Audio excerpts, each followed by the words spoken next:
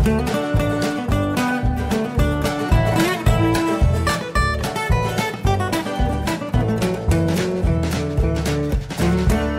und herzlich willkommen zu Jörn Schars feinem Podcast Episode 200, nein, Episode 427. Ich bin Jörn Schaar und ihr seid es nicht.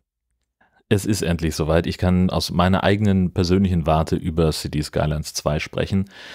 Meine ganzen Befürchtungen haben sich nahezu in Luft aufgelöst. Es läuft auf meinem Setup und es ist grandios. In meinen Augen wird das Spiel dem Hype absolut gerecht.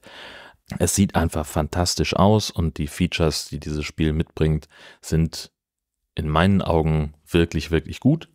War das, was mich am Teil 1 eigentlich am meisten gestört hat, wenn man in, mit seiner Stadt eine bestimmte äh, Stufe überschritten hat, dann wurden neue Gebäude fertiggestellt und dann wollten alle Bürger alle diese Dienstleistungen, alle diese Gebäude sofort haben.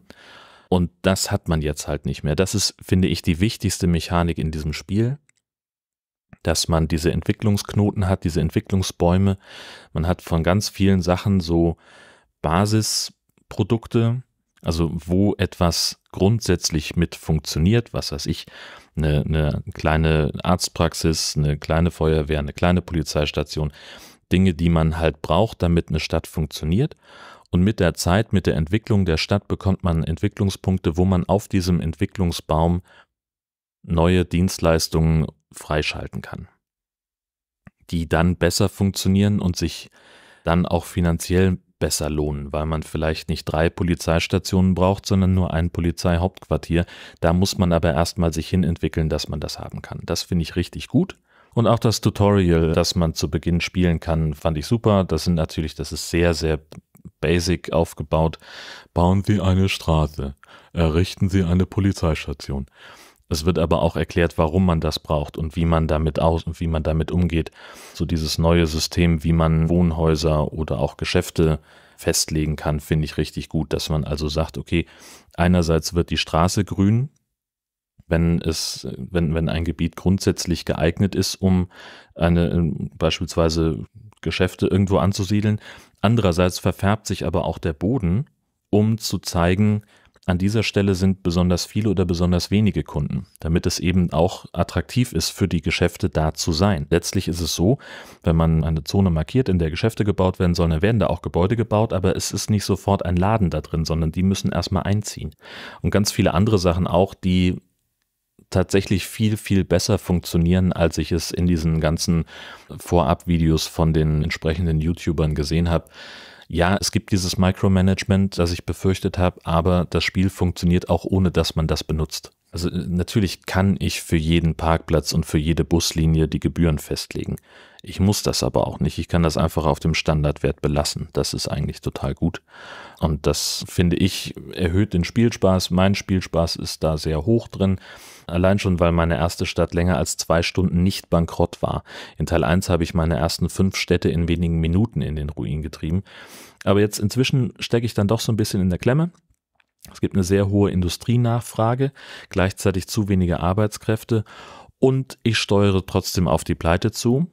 Offensichtlich habe ich ein paar Dienstleistungen zu viel eingekauft. Also ich habe jetzt schon ein paar Sachen wieder, wieder gelöscht. Also ich brauche nicht unbedingt das Hubschrauberdepot für die Feuerwehr, weil halt einmal gab es einen Waldbrand, da war das praktisch.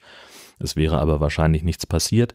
Es hat einfach nur Geld gekostet. Genauso die Recyclinganlage, überhaupt Müll und so ein Kram, das kann man ganz, ganz spät erst im Spiel machen, wenn man sowieso im positiven Cashflow ist.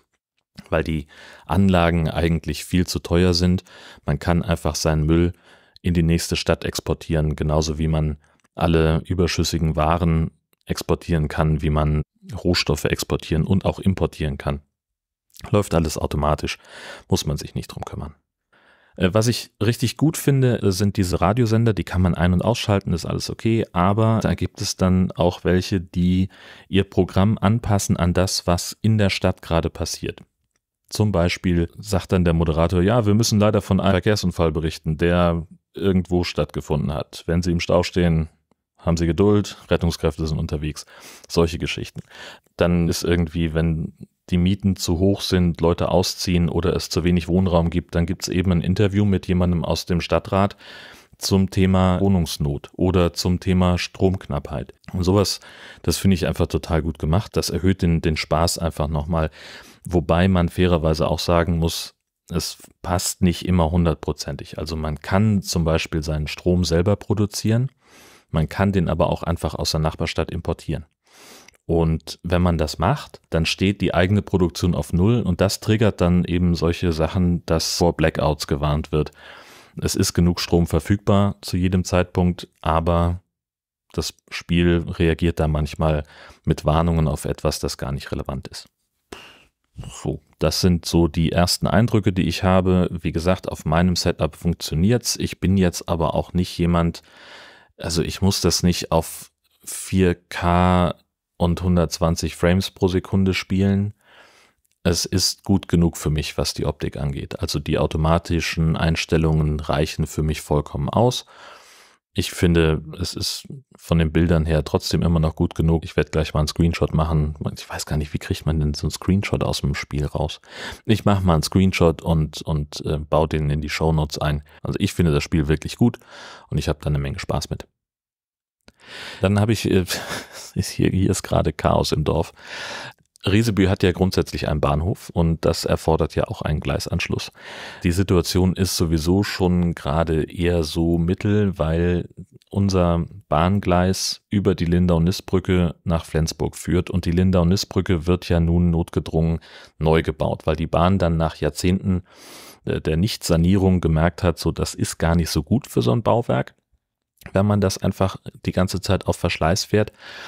Und dann wollten sie es jetzt dann reparieren, weil es gar nicht mehr anders ging. Und dabei haben sie festgestellt, die Bausubstanz ist auch gar nicht mehr so gut. Das müssen wir leider neu machen. Blöde Sache. Deswegen ist diese Bahnstrecke jetzt schon eine ganze Zeit lang unterbrochen. Dann fuhren erst eine Weile lang die Züge bis zum jeweiligen Brückenkopf auf den beiden Seiten der Schlei. Da wurden Behelfsbahnsteige gebaut und man konnte mit so einer Fußgängerbrücke rüberlaufen und am anderen Ende in den wartenden Zug einsteigen. Das ging eine Zeit lang. Dann ging das jetzt aber eine Zeit lang nicht und das geht immer noch nicht. Weil nämlich die Strecke grundsätzlich ab dem nächsten Fahrplanwechsel ab Dezember mit Akkuzügen betrieben werden soll. Das ist total schlau. Die Dinger sind nach Angaben des Verkehrsministeriums total super, beschleunigen schnell, funktionieren gut, sind weniger geräuschintensiv und, und, und. Die können aber in Anführungszeichen nur 80 Kilometer mit einer Akkuladung fahren. Deswegen möchte man die eigentlich nachladen. Und das, dieses Nachladen, das funktioniert mit so Akkuinseln, Ladeinseln, wo also an den Bahnhöfen oder einigen Bahnhöfen so ein Stück Oberleitung gebaut wird, wo der Zug dann, wenn er einfährt, den Bügel hochmacht und Strom zieht, um den Akku zu laden, solange er eben da steht. Diese Oberleitungsstücke müssen gebaut werden und das bedeutet eben Sperrungen in den Bahnhöfen. Deswegen gibt es gerade schon auch seit einer ganzen Weile und es wird auch noch eine ganze Weile so sein, Schienenersatzverkehr zwischen hier und Eckernförde. Und jetzt kommen eben noch dazu Bauarbeiten an dem wichtigen Bahnübergang bei uns in der Dorfstraße. Wenn man zum Beispiel von hier nach kappeln möchte, dann muss man da drüber. Wenn man von hier nach Eckernförde möchte, geht der kürzeste Weg über diesen Bahnübergang. Es gibt noch ein paar andere, ist alles nicht so schlimm, aber das ist eben so der Standardweg, sag ich mal. Und lustige Geschichte, auch wenn man zum Schienenersatzverkehr gehen möchte, von unserer Seite des Dorfes aus, muss man über diesen Bahnübergang. Der sollte nun eigentlich frei sein für Fußgänger und Radfahrer, ist er aber nicht.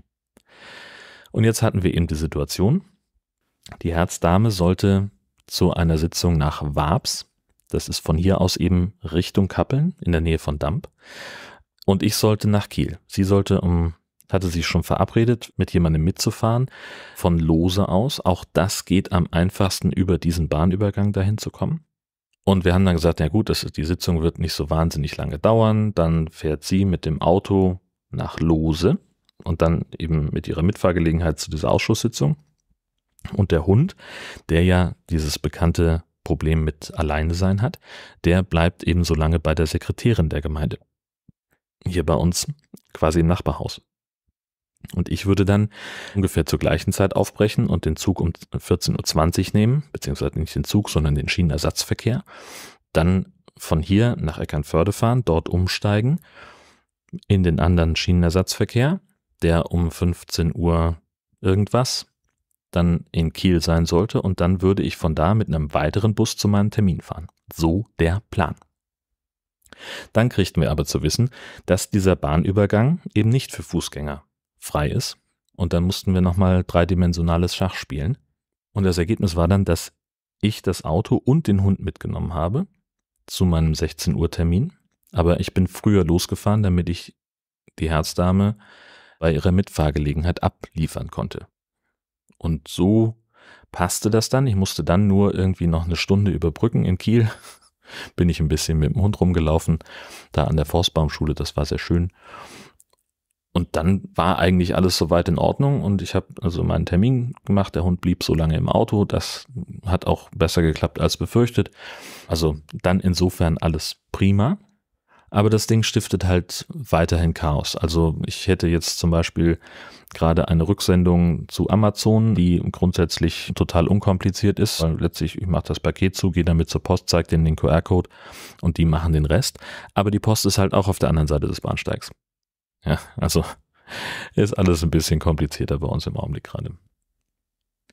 Als ich diese Woche dann nochmal in Kiel war, ging es auch um den Autokauf also immerhin, inzwischen hat sich das deutsche Äquivalent der gegnerischen Versicherung gemeldet und nochmal ein paar Unterlagen nachgefordert, die Schadensnummer mitgeteilt und schreiben aber auch, rein vorsorglich weisen wir darauf hin, dass die Prüfung der Deckung bei einem ausländischen Versicherer einige Zeit in Anspruch nehmen kann.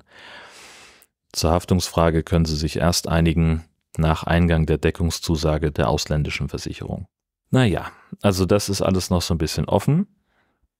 Aber es hilft ja nichts. Unser Auto ist ja nun mal schließlich kaputt. Das muss ja nun mal neu. Es hilft ja nichts. Und entsprechend habe ich mich jetzt auf die Suche gemacht nach einem anderen Fahrzeug. Habe da ein paar schon angeguckt und Probe gefahren. Jetzt bin ich eigentlich ganz guter Dinge, dass wir in der kommenden Woche den Kaufvertrag abschließen können für einen Leasing-Rückläufer. Das heißt, das Auto ist nahezu neuwertig. Also der ist von 2021, hat 85.000 Kilometer gelaufen. Damit war ich jetzt unterwegs. Das ist, ja, also, sag mal, wenn, ob ich jetzt dieses Auto fahre oder einen Mietwagen mir nehme für irgendwie eine Fahrt nach Hessen oder sonst was, das ist das gleiche Niveau. Insofern, also ich, da machen wir, glaube ich, einen ganz guten Deal. Und jetzt bin ich mal gespannt, ob das alles so zustande kommt, wie wir uns das vorstellen. Also ist so ein bisschen, ein bisschen außerhalb des Budgets, wo wir sagen, das überweisen wir so. Aber wir können ein gutes Drittel, etwas mehr schon mal anzahlen und haben dann vergleichsweise kleine Raten und natürlich die Möglichkeit zu sagen, wenn wir mal irgendwie was übrig haben im Monat, dann schmeißen wir das da drauf und können das Auto dann früher ablösen. Das ist ja auch immer ganz gut für den Schufa-Score, wenn man einen Kredit von irgendwas früher bedient, als man muss. Also ich werde berichten. Berichtet habe ich Anfang des Monats wieder über die Neuigkeiten aus der deutschsprachigen Podcast-Szene. Das Podjournal ist planmäßig am 1.11. morgens um halb sieben erschienen und gegen Mittag haben sich die Menschen vom Podlove Publisher Plugin entschieden, ihre Version 4.0 rauszuhauen die super schick ist. Das hätte ich alles schon gerne erzählt im Podjournal. Ich habe es halt leider nicht erfahren dass das der Veröffentlichungstag ist. So, inzwischen ist auch die, die, das erste Bugfix draußen und sind offenbar Sachen aufgetaucht, die man vorher nicht so auf dem Zettel hatte. Aber das erzähle ich alles sehr ausführlich dann im nächsten Monat im Podjournal. Abgesehen davon bin ich der Meinung, dass Christian Lindner als Bundesfinanzminister zurücktreten sollte. Bis er das tut oder bis eine weitere Folge erscheint von Jörn Schaas im Podcast. Alles Gute.